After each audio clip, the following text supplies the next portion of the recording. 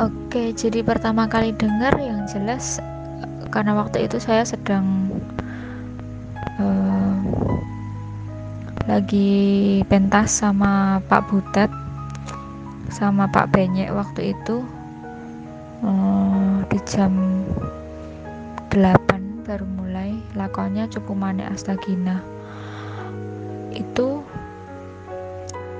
uh, ternyata Pak E udah di keadaannya kritis. Jadi saya memang nggak tahu dan nggak ada info di grup gitu loh. Nah saya selesai oke okay, pentas tata tata tata selesai pentas. Baru tahu kalau Pak E ternyata nggak ada. Itu di grup itu cuma ada tulisan innalillahi dan segala macam nggak berani buka notif. Terus ternyata yang meninggal Pak E ya sontak gemetar nggak karuan. Baru aja copot sanggul saya. Hmm, ya udah bingung nggak kalap gitulah istilahnya. Ini beneran apa enggak ini bohong lah pasti. Enggak lah enggak kayak nolak gitu. Tapi semua udah bilang ternyata beneran. Kaget jelas. Waktu itu saya sama Mbak Ika langsung ke sana. Shock banget ketemu sama teman-teman. Pasti cuma nangis nangis nangis yang kita pikirin cuman ya kehilangan satu kehilangan. Sosok ya ini kayak maskapai ya kapal. Ini ada pilotnya. Pilotnya ya nggak ada kan. Banyak kan ini langsung terombang ambing. Nah waktu itu ya ya nggak karuan lah. Semuanya udah tahu lah perasaannya. Nggak karuan masih kaget sampai yang jelas di kepala itu sakit sakit banget. Kepala itu anu mas nggak bisa tidur. Pokoknya nggak bisa tidur sama sekali.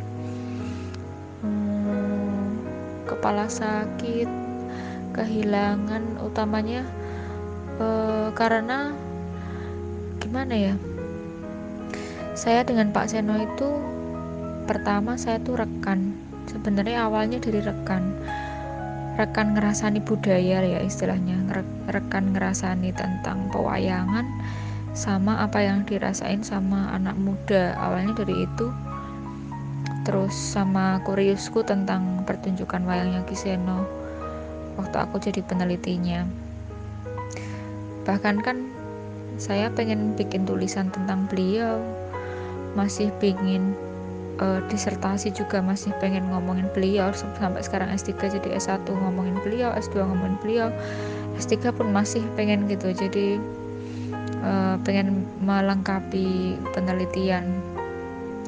Jadi satu aku belum sempat mendalam kayak yang tadi aku bilangin ketika aku jadi jadi rekan waktu aku neliti tentang beliau belum jadi anggotanya beliau aku punya banyak banyak peluang untuk tanya-tanya tapi setelah saya jadi sindennya di tahun 2018 itu sebenarnya kalau ikut udah lama ya jadi cadangan gitu tuh udah sering tapi kalau jadi sinden tetapnya kan di tahun 2018 Oktober pokoknya habis habis uh, pokoknya waktu tsunami itu di Palu itu ke itu sama itu barengan waktu saya jadi WL itu.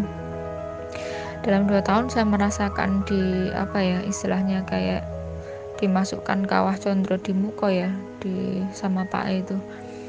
Rasanya ditempa bener dimasukin banyak hal kayak ya kayak Gatot Kaca itu istilahnya segala macam senjata dimasukin sana ngerasain panas ngerasain sakit ngerasain uh, gimana caranya harus uh, apa ya membangun. Ya banyak lah yang saya rasain waktu itu uh, membangun pertunjukan istilahnya. Dipercaya sama Pak Seno untuk ya akhirnya terbentuklah karakter saya juga itu juga yang bentuk juga berdua. Jadi sakit sakit banget waktu itu waktu ngerti Pak Seno nggak ada itu karena uh, ya kayak separuhnya hilang ya. Jadi bentuk karakter yang bentuk ini berdua walaupun ya semua semua ditemuin di panggung begitu aja. Tapi karena dukungan beliau jadi ini benar-benar terbentuk karena dua uh, yang berkolaborasi ya dua pikiran yang berkolaborasi antara saya sama Pak Seno. Jadi waktu Pak Seno nggak ada ya sangat sangat sangat kehilangan. Rasanya kayak tinggal separuh gitu saya hilang suung. Terus hmm, yang jelas ketika pasca pasca oke okay lah waktu Pak Seno meninggal itu sampai uh, kita semua ngiringi beliau pakai ladrang Gajah Seno itu. Uh, itu puncaknya satu rasanya ya karena waktu sebelum Gajah Seno itu kan Pak Tejo mungel ke ayak-ayak itu kan. Ayak-ayak selendro padat 6 ayak-ayak Jogja yang kalau kayak mau wayangan gitu loh dedok. Dedok itu rasanya sakit minta ampun karena apa ya bahkan kita ketemu sama keluarga sama Pak Seno itu lebih banyak ketemu Pak Seno. Kayak gitu loh. E, di rumah sama di teratak istilahnya lebih banyak di teratak. Makanya kenapa kalau orang heran warga Lara sampai sesakit itu ya ya karena kami banyaknya lebih banyak di situ. Kita istilahnya lapar bareng kenyang bareng ketawa bareng nangis bareng kayak gitu. Uh, beda sama orang kerja pada umumnya. Kita memang kayak orang kerja yang setiap hari berangkat ya 8 jam dan itu di malam hari. Dan bisa dibayangkan uh, apa ya kedekatan di siang hari dan malam hari itu jauh berbeda ya.